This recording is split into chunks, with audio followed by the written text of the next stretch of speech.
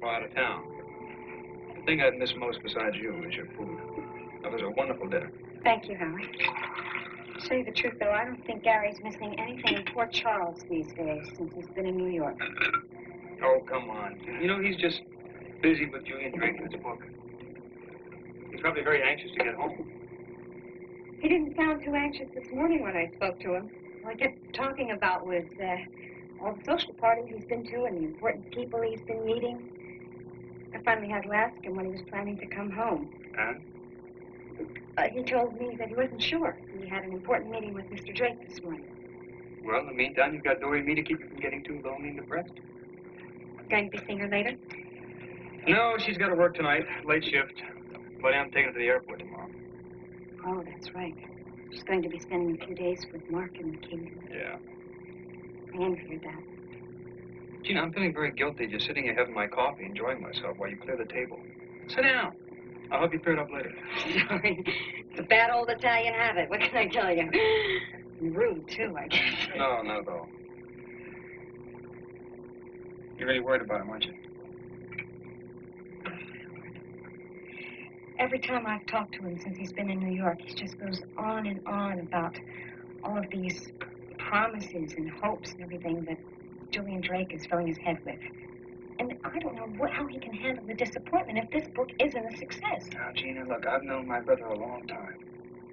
And if Gary's got any talent at all, it's, it's for talking his way into a situation and coming out smelling like a rose. Yeah, well, that may be very well and good, Howard. But Gary's not a writer. He's never written anything in his life. So? He's not trying to write the great American novel. He's just writing a diet book with a twist. Nevertheless, he still has to write it. Yeah, but with the right publisher and the right editor, it could be very glossy and commercial. And that's what he really cares about. No. He cares about it being a success.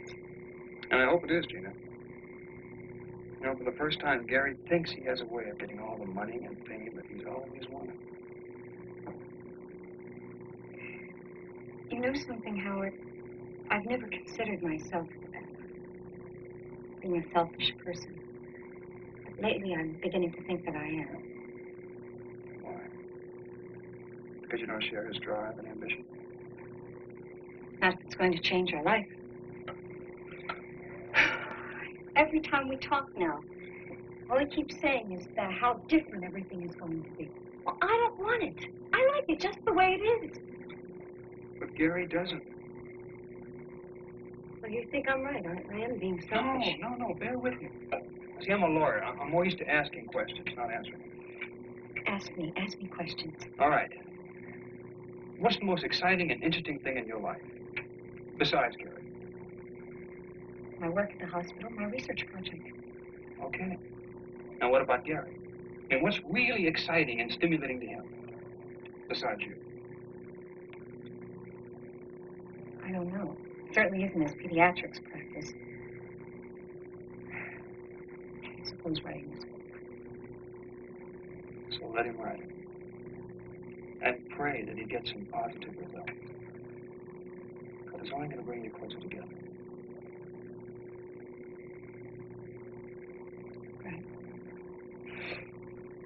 Thank you.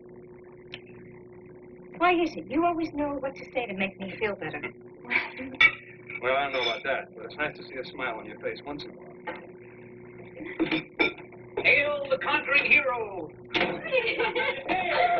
Hi, darling. Oh, Howie, you can hail me too. Oh, yeah, hail, Why didn't you call and tell me you were coming home? Oh, hi, I was going to, but my fingers were so tired from signing all those contracts. Julian Drake's going to publish your book. The man's no fool. He knows a winner when he sees one. That's incredible. Oh, I'm so happy for you. hey. Best of luck with it. Thank you, Allie. Hey, listen, you haven't even seen the best part of it yet. Not only did one of the largest publishing houses in New York sign me up, but they gave me a little advance to write it. Little advance against my royalties. and a fairly tidy sum. I. All right, say, so, Gary, did you say you already signed the contract? With indelible ink, Yeah, Howie. But maybe you ought to let me look over them to make sure you protect them. Hey, thanks, but no thanks. Actually, I've got something better in mind for you. You know what I'd like you to do? Is call my office first thing tomorrow morning and sell my half of the practice to my partner. Wait a minute. Don't you think you're rushing things a little bit? Yes, important doctors have uh, deadlines to keep, you know? And, uh, or else I'd take care of it myself. No, I'm going to trust you to look after my better interests. Well, then listen to me. Don't sell your practice. Hire a doctor to take your place while you write the book. Now, that way, if at some future date you want to go back into pediatrics, it's going to be there waiting for you. Okay, I listened to you, now you listen to me. On the way back, on the plane, I came to a decision. I am trading in the old stethoscope and tongue depressor for a typewriter and paper for good. End of discussion. Gary, I think Howard is right. Of course you do. You have an established practice. Which I hate, and which I want out of. Okay, fine, you hate it, but look, if you do what Howard says, then you always have something to fall back on. Gene, I'm not going to need anything to fall back on. I am writing a book. Julian Drake is going to publish it.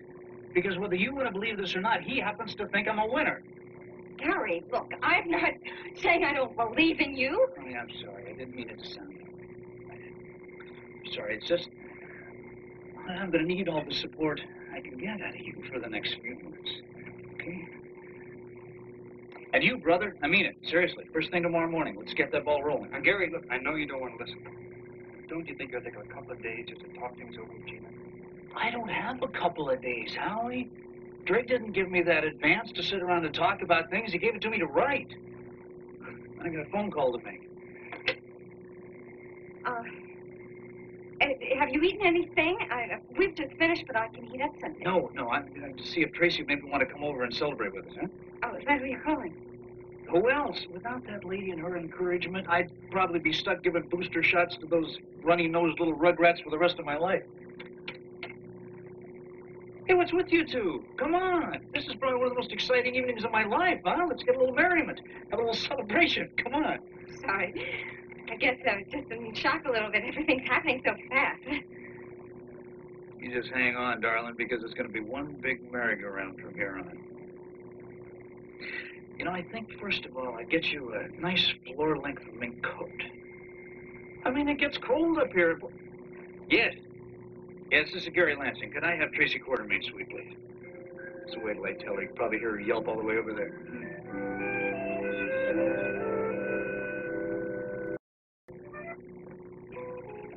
If the tow truck gets here before Lesley and Rick, I- I'd better stay so that they don't think that we left. Well, Laura, the guy at the gas station said the, the truck was out on a call and he didn't know how long it was going to take.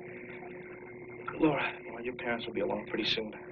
I, I told Lesley not to leave Monica's party, but she insisted. Yeah, I hate to see him make that trip, too. But if we can't get the car started, we would have had to call somebody to pick us up anyway. You still cold? I'm freezing. I, I don't think I dressed warmly enough. Well, how did you know that we were going to have to take a two-mile walk? Listen, how about some coffee, all right? I'll tell the manager that we'll be in the dining room, all right? No, thank you. Scotty, what's going to happen to me when Mr. Higgins finds out that I missed my curfew and he has to write another bad report to Judge Stallman? Another, no, Laura, if you're talking about that fight you had with Bobbie in the book room, Higgins didn't have to make a bad report. He wrote this back. And when Judge Stallman reads it, he could think that I have a violent streak in me that I can't control, just like the night I killed David. Laura, Laura, now listen. He spoke to Bobbie, he spoke to me, and he spoke to your parents. And he knows that you two haven't been getting along for a long time. But not getting along doesn't mean that you hit someone. Laura, now come on. Now, don't let your mind go crazy with these ideas, okay? Please? I can't help it, Scotty. Because even if I do exactly what the court says for the next four and a half months, I still might be sent to reform school.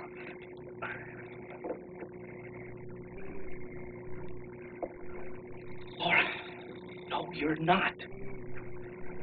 Now, the judge released you in the custody of your parents. Laura, that is where you're going to stay. Not if something happens to their marriage. And then they separate. Now, Judge Stallman is never going to let me live with Lesley. Not after all the lies she told under oath to protect me. Laura, Laura, come on. Now, listen, I know you're upset about missing your curfew, but it's just going to make it worse. Letting your imagination run wild like this. The problems between Lesley and Rick are very real, Scotty. And then they could separate. And then what? Then I would be there with you. I am not going to let you send away to reform school. All right? How? I don't know, Laura, but I will find a way. Honey, we're here. Oh, honey. Well, everything's going to be all right. I know it is, Dad. Now that you're here. Thank you very much, Colin. Please tell the chef it was wonderful.